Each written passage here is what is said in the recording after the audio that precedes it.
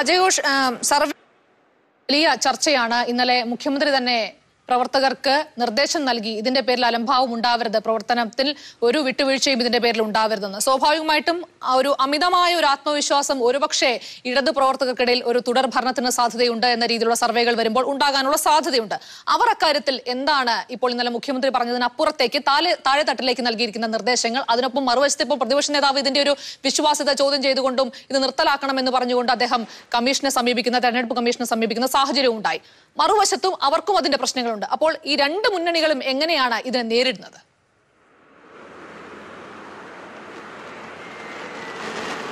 ശാലിനി ഇത് ഈ അഭിപ്രായ സർവേകൾ ഒരുപക്ഷെ മുൻകാലങ്ങളിലെ നമ്മൾ കണ്ടിട്ടുള്ള തെരഞ്ഞെടുപ്പുകളിൽ നിന്നൊക്കെ വ്യത്യസ്തമായിട്ട് നമ്മുടെ സംസ്ഥാനത്ത് ഒരു തെരഞ്ഞെടുപ്പ് വിഷയമായിട്ട് തന്നെ ചർച്ച ചെയ്യുന്ന കാഴ്ചയാണ് നമ്മൾ കാണുന്നത്. ഇപ്പം നമ്മൾ ആദ്യം ഏഷ്യൻ ന്യൂസ് ആണ് നടത്തിയ ഒരു സർവേ.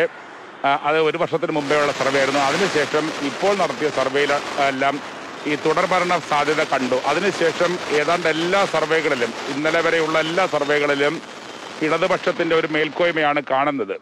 അപ്പോൾ അത് അത് നമ്മുടെ നാട്ടിലുണ്ടാക്കിയ ഒരു പ്രത്യേക സ്വഭാവ ഒരു വിശേഷതയുണ്ട്. ആ കാര്യത്തിലാണ് ഈ രാഷ്ട്രീയ പാർട്ടികൾ വലിയ ജാഗ്രതയോടുകൂടി മുന്നോട്ട് വരുന്നത്. നമുക്കറിയാവുന്നതാണ് പ്രതിപക്ഷ നേതാവും മുൻ മുഖ്യമന്ത്രി ഉമ്മൻചാണ്ടിയും അടക്കമുള്ള എല്ലാ നേതാക്കളും സർവേകളെ തള്ളിപ്പറഞ്ഞുകൊണ്ട് ഞങ്ങൾക്ക് സർവേകളിൽ വിശ്വാസമില്ല. ഇത് ഏകപക്ഷീയമായ സർവേയാണ്. എൽ ഡി എഫിനെ സഹായിക്കുന്നതിന് വേണ്ടിയുള്ള സർവേയാണെന്ന് പറഞ്ഞുകൊണ്ട് അവർ പരസ്യ വിമർശനം അതും കടുത്ത ഭാഷയുള്ള വിമർശനവുമായിട്ട് രംഗത്ത് വന്നു. മാത്രവുമല്ല കിഫ്ബി ഫണ്ടിന്റെ സ്പോൺസേഡ് സർവേ ആണെന്ന് വരെ അവരതിനെ പറഞ്ഞു വെച്ചു. ഇതിനിടയിലാണ് എൽ ഡി എഫിന് ഇപ്പോൾ ദേശീയ മാധ്യമങ്ങൾ നടത്തിയ സർവേ അടക്കം എൽ ഡി എഫിനും മുഖ്യമന്ത്രി പിണറായി വിജയനും വലിയ ഒരു മേൽക്കോയ്മ കാണുമ്പോൾ അതിലൊരു അപകടമുണ്ട് എന്ന് അവരും മനസ്സിലാക്കുകയാണ്. അവരത് പരസ്യമായിട്ട് പറയുന്നു. നേരത്തെ തന്നെ ഈ സർവേകളെ തള്ളിപ്പറയുന്ന സാഹചര്യം അവരുണ്ടായിരുന്നെങ്കിൽ ഇടയ്ക്ക് വെച്ച് നാട്ടിലെ സാഹചര്യം അതായിപ്പോയി എന്ന് മുഖ്യമന്ത്രി പോലും ഒരു തമാശ രൂപേണ എന്നാൽ ഗൗരവത്തോടുകൂടി പറഞ്ഞ ഒരു സാഹചര്യം ഉണ്ടായിരുന്നു പക്ഷെ ഇന്നലെ മുതൽ മുഖ്യമന്ത്രിയും നിലപാട് മാറ്റുകയാണ്. നിങ്ങൾ സർവേകളെ കണ്ട് ഇരിക്കരുത്. നമ്മുടെ പ്രവർത്തനം ചിട്ടയായിട്ട് മുന്നോട്ട് പോകണമെന്ന് പറയുകയാണ്. എല്ലാ- എല്ലാവരും എല്ലായിടത്തും വിജയിച്ചോളും എന്നുള്ള രീതിയിലേക്ക് പോകരുത് എന്നുള്ളതാണ്. ബി ജെ പിയും ഈ സർവേകളുടെ ഫലം അവർക്ക് അത്ര ആശാവഹമല്ല എന്ന് കണ്ടുകൊണ്ട് നേരത്തെ തന്നെ ജനങ്ങളിലാണ് ഞങ്ങൾക്ക് വിശ്വാസം എന്ന് പറഞ്ഞുകൊണ്ട് നിൽക്കുന്നു.